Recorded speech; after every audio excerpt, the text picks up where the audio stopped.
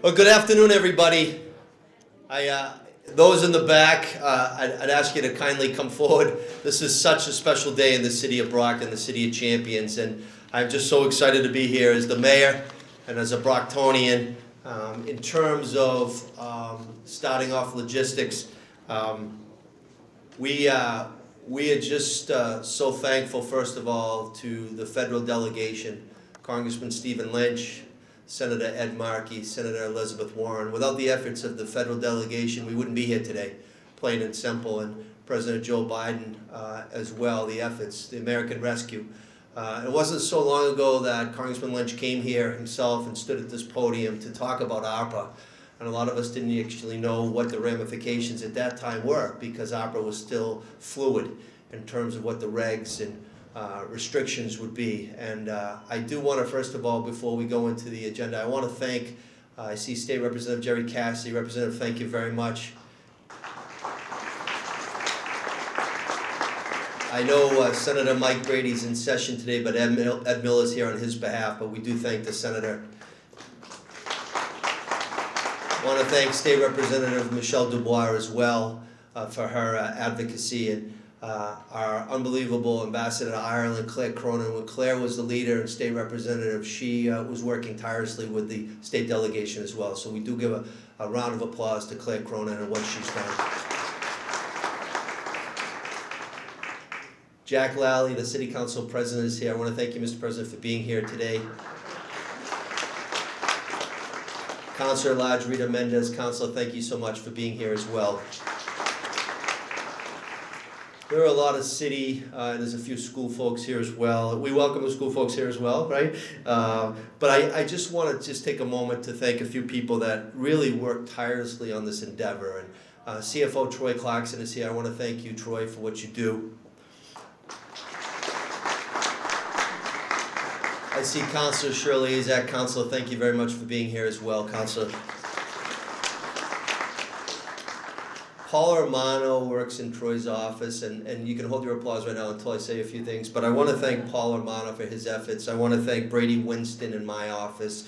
Uh, she, along with Jasmine Bradshaw in my office, and Attorney Greg Mathou uh, in the solicitor's office uh, when ARPA money came to Brockton, we had to figure out. I committed from day one. I'm giving away two million bucks, right? Two million dollars is a lot of money, and my view as the mayor was we want to maximize the return on investment. How are we going to disperse it? How are we going to really figure out the best practices to move forward? And so I charge those individuals to work collectively on a task to achieve success. And today that, that effort is achieved because this is a success right here. We have 41 dedicated organizations, either based in the city of Brockton or providing services in the city of Brockton.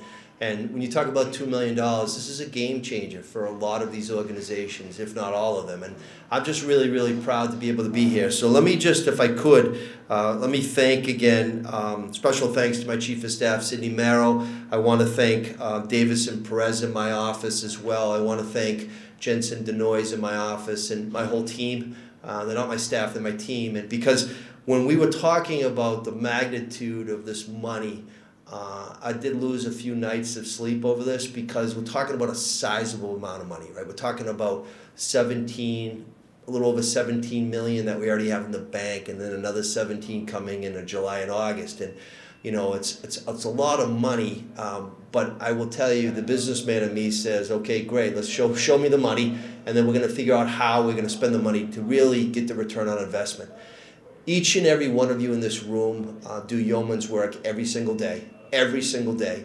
And when I took office, January 6th of 2020, we had heard about COVID, right? COVID was in China, COVID was in Italy at that time, but it wasn't in the States.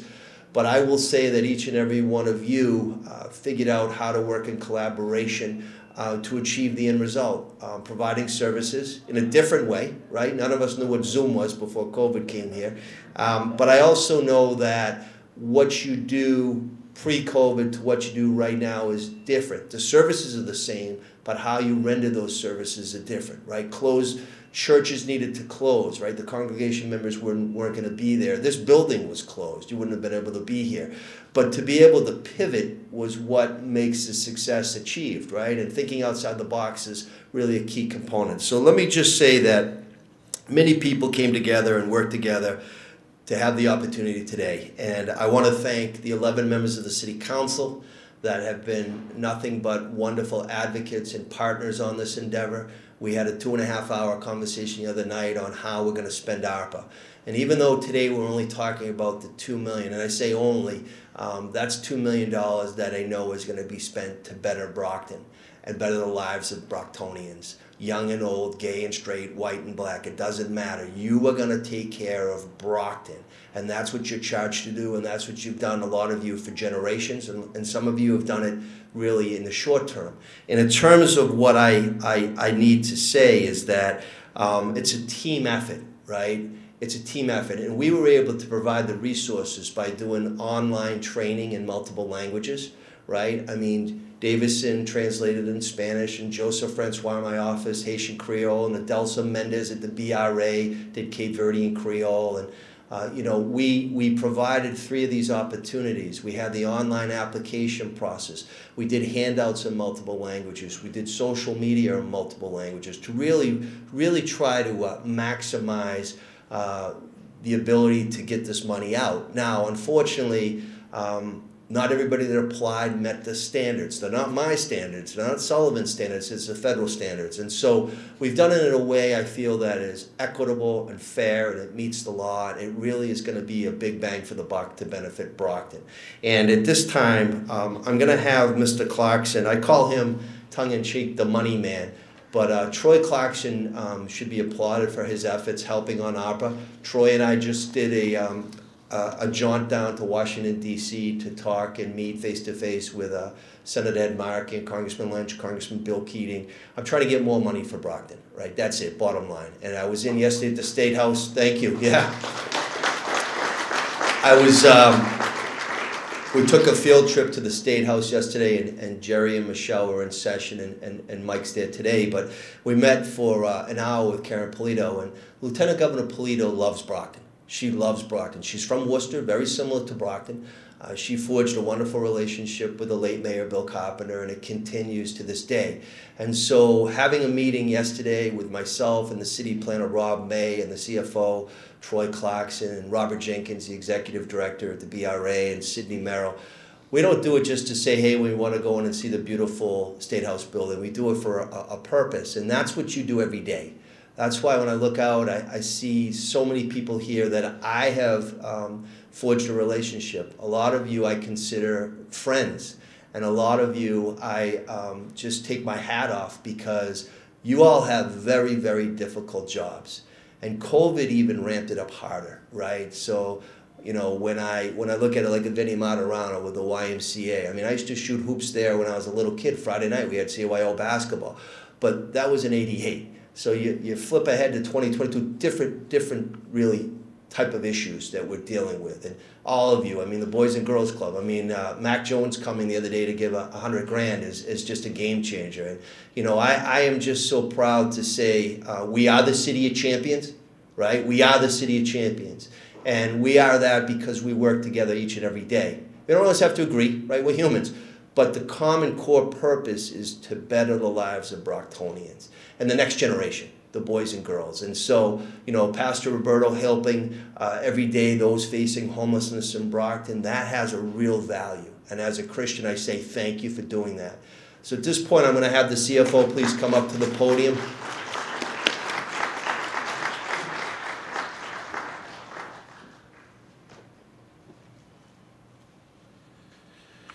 Thank you, Mayor. It's a pleasure for me, really, to join all of you elected officials, members of the Brockton team, and of course, all of you who lift up this community every day. And that's really what this program is about. Uh, I say all the time when I present the budget to the City Council that a budget is the most important policy document of a community because it speaks to what the community values. Well, today, we get to see firsthand what this mayor and what this city values. And what it is, is the work that all of you do. This is our opportunity as a city to not only validate the work that you do, but to thank you for it and to help support the important work you're doing by dedicating $2 million in our federal ARPA funds to the varied work that all of you do. So on behalf of the mayor and the team that he mentioned, it really is my honor to help celebrate all of you together lifting up this community. This is indeed the city of champions. It's also my hometown. Uh, my parents were both raised in this city, and when I had the opportunity a few years ago to come back here uh, and, and be part of the leadership team, it was not only a tremendous professional opportunity, but an opportunity for me to come home uh, and be part of making a difference in my hometown. So, for many reasons, it really is an honor for me to be here today and support this program, support this mayor, and support our phenomenal team who really put this uh, package together. We will continue to work with you as we distribute this money uh, over the next several months and, and couple years. So remember this face if you have any issues or challenges. We are here to help you. Uh, this isn't a one and done. We're not going to just hand out the money and walk away. We're here to support you. Some of your organizations are larger than others, and so some may need a little assistance in figuring out the reporting uh, and, and how to deal with some of the federal requirements. I assure you that this is a partnership that will last far beyond this ceremony. So thank you for all the work that you do, and uh, thank you for being part of this wonderful effort.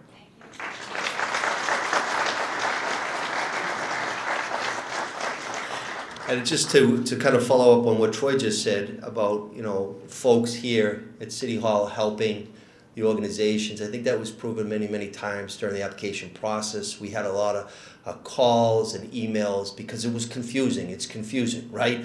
And so we're all in this together. And so we will continue to do that. You know, we have support systems in place. Uh, you know, and we'll, we really will continue to do that. And again, there's checks and balances, you know, that dispersed over the quarters. Um, but I'm really excited to say that um, today is a game changer. Today is an important day in the history of the city of Brockton. Um, I do also just want to give a quick synopsis, if I could. Although my kids say I talk too long, so do this, okay? If you want me to stop talking. Um, you know, the story begins really like uh, any municipality in the Commonwealth, 351 of them, uh, COVID 19. We heard of the word, we weren't really sure what the ramifications would be. You know, would it be similar to the flu, or would it be something that hadn't been here in a century? Well, unfortunately, we planned for the worst and we got the worst. Um, you know, as a result of the pandemic, um, American economy, uh, businesses started closing. The, the economy was just disrupted wholeheartedly. Um, a lot of citizens and residents lost their jobs and unfortunately lost a lot of their, their lives here in the city of Brockton. As I stand here, the death count is 494 residents that have perished. Um, and we, we've had over 20,000 people that have come down with COVID. In response, of course, President Biden uh, launched the American Rescue Plan Act, or ARPA as we call it, and the whole purpose was to help uh, recover, rebuild, and recover. And in Brockton, um, again, we, we are receiving 34.5, a little over 34.5 million in two tranches. The next tranche will be here in July, early August. Whole goal, and my goal as mayor was to be able to enhance the community, enhance the organizations for decades to come. As I say, as a dad of three kids, it's for the next generation. And, um, you know, it's extremely vital to hear on a regular basis from the residents and the business owners. And I know every elected official here uh, understands, you know, we serve at the will of the constituencies. And our goal as public servants is to try to help them on a daily basis, try to help lives. And your organizations do the exact same thing, and it doesn't mean um, anything if, if it's if it's not done for the right reasons. And everybody here does it for the right reasons. Some are large scale, doing it uh, you know with a magnitude of employees, and some do it really small scale. But the core principle is to help, to help. And so I do want to again just thank. Uh, Paul Armano in the finance department because Paul he himself created the ARPA survey and it did consist of nine questions. Some people say, well, they were simple questions. I didn't think they were that simple, but it really helped us to determine really what are the needs of the community and how we can address uh, you know, the best usage of the funds. And I will tell you that I hosted the Mass Municipal Association, the MMA conference recently. We had 21 different mayors from the Commonwealth come to Brockton. And we were talking about ARPA, and not one mayor had considered doing a survey application online. They just hadn't thought of it. Now, I hope and I pray that when they left the War Memorial that day, they went to their own cities and figured out how to generate it because it really is a game changer. It's the right way to do it. Uh, it's fair across the board, and it's the best way, in my humble opinion, to disperse a sizable amount of money. Um, I've always talked about, didn't matter if I was a city councilor or a volunteer member of the planning board or now as mayor, I always talk about teamwork and collaboration. Teamwork and collaboration, and I mean that. Um, we are better together, right? Working with a common purpose and making sure that Brockton is uh, poised for greatness the number one asset of Brockton are the people, right? We know that. And I said this the other day with the mayors. Brockton is not wealthy in terms of looking at our financial ledger. We're just not, but we're wealthy with people. And we've always been that way, right? We're a diverse community of hardworking, dedicated people. Dedicated people that understand that COVID has changed us forever emotionally, physically, financially. We're just changed, right? My own children are not the same kids before COVID as they are now. And mental health issues have been enhanced. And, and, and if you were sober, it's not good to be home alone, isolated. It's a recipe for disaster. So, of course, domestic violence went up and alcohol and drug abuse went up. We just know that. And so, to be able to provide services to help people is what it's about right? And so I am saying today that um, the nonprofit partners and faith based organizations really deserve a round of applause for what they do every day, but more importantly, what they did to Brockton and what they continue to do during COVID.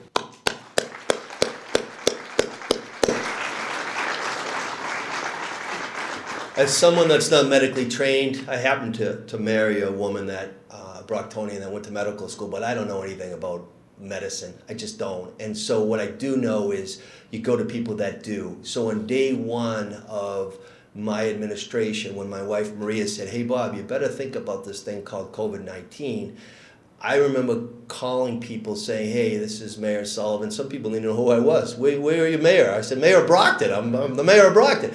Um, I invited them upstairs, and uh, we did a roundtable. And the whole purpose was to try to figure out how we can plan.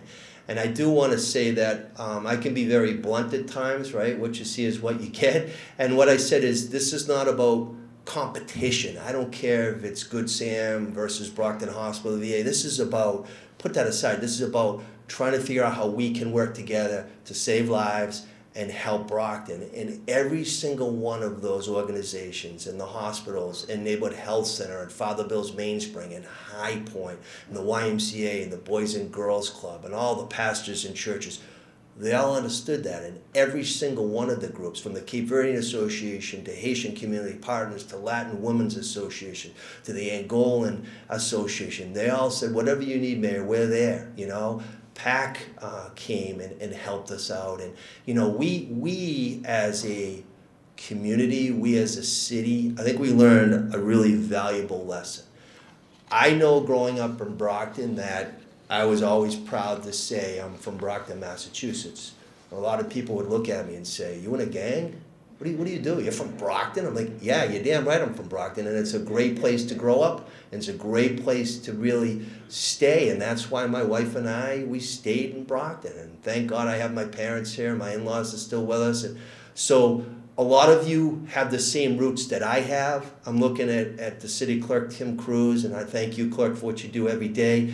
Um, you know, and a lot of you are transplants to Brockton. And really, you know, there's someone in this room that knew me when I was running around Wellington Street wearing a diaper, Pat Kelleher. And uh, Pat raised her family on Wellington Street, and she never gave up on Brockton. She just didn't, right? And helping women and helping youth and children. And so today, when I talk about the 41 remarkable organizations uh, in the City of Champions, um, think about that. 41 organizations are getting $2 million. And it really is my pleasure right now to just uh, read off the names. I do want to just say that um, I don't actually have the checks here today, right? I'm not going to give you, I'm not going to give you 100 grand or 50 grand right now. But I would tell you that the CFO's office will be working diligently with you.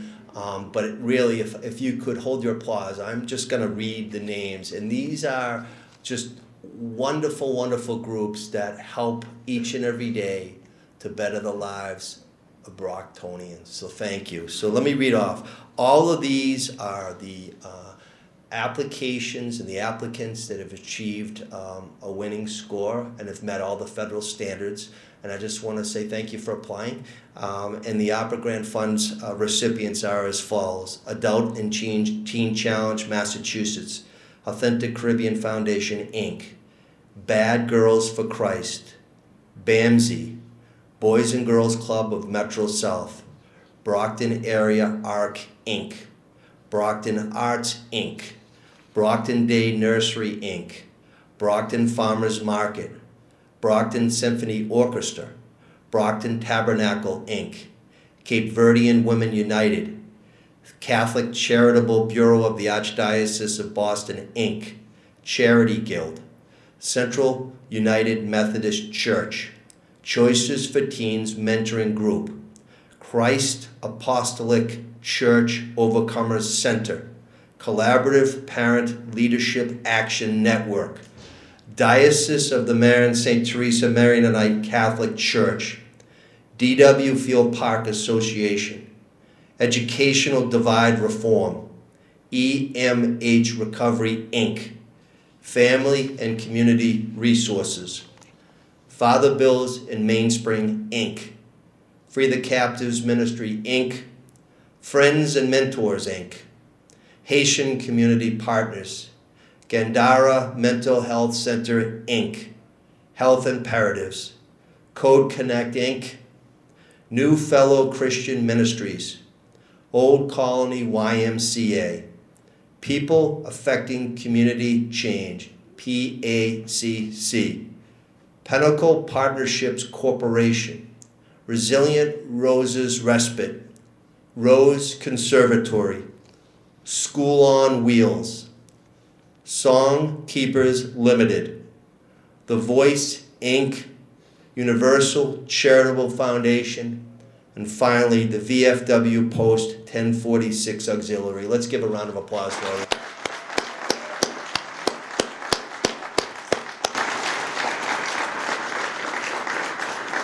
So as I opened up this, uh, this event ceremony, um, I will conclude with the following. Um, continue to do which every single day what you do. Stay the cause, stay the mission. Uh, we have to roll up our sleeves and get the job done, right? We have a difficult job, but it's easier when we work together. And uh, you know, this is a step of many steps. Uh, we uh, hope to get additional funding. Uh, there's additional ARPA money that Plymouth County has been uh, recipients of, and Brockton is the only city in Plymouth County, so we will get some additional money there as well. Um, you know, and we're going to keep banging the drum. Uh, Representative Cassie, Representative DuBois, Senator Brady are doing it every single day up on Beacon Hill. And so, um, again, the way we will disperse it, all of you know the process, but it's going to be done in four tranches, done in quarterly uh, installments. Um, and again, Paul and his team with Troy uh, will continue to work with you, but more importantly, work for you.